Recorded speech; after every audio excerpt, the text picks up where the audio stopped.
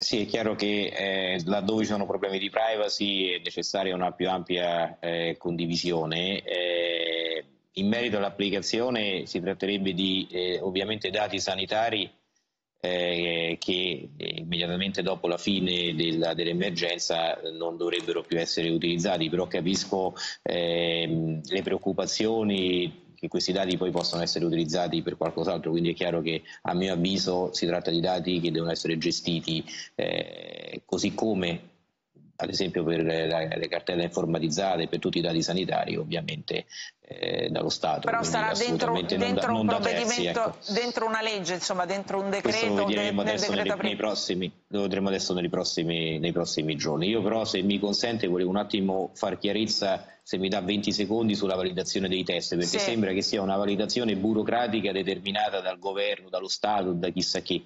È una validazione scientifica attenzione, non confondiamo, cioè si tratta di dover individuare quello che è il test migliore per evitare rischi e invito tutti, siccome tutti ma parlano... Ma nelle regioni sanno, però già li usano. Ma li usano come guardi, li usano per anche testare quello che è il migliore hanno utilizzato quello che a loro avviso su studi su alcuni soggetti, guardi ho dato anche io il sangue perché l'università mi ha detto possiamo usare il, vostro, il tuo sangue e quello di un altro che è venuto con me che era stato positivo anche lui per testare e capire qual è, qual è il migliore. Parliamo di dieci giorni fa, eh?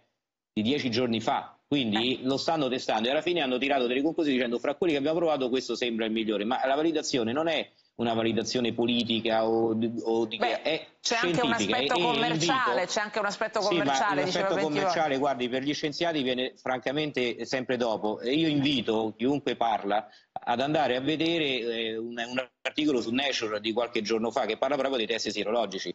E, e conclude, quindi non è una conclusione italiana quella del dubbio, è una conclusione mondiale, cioè attenzione a quello che andiamo ad utilizzare, quindi quello che è di meglio lo usiamo come, diceva, come si diceva prima, però la ricerca del meglio richiede del tempo e richiede ricerca, ricerca che è stata fatta in varie regioni, hanno fatto bene secondo me. Allora Presidente Ceriscioli, invece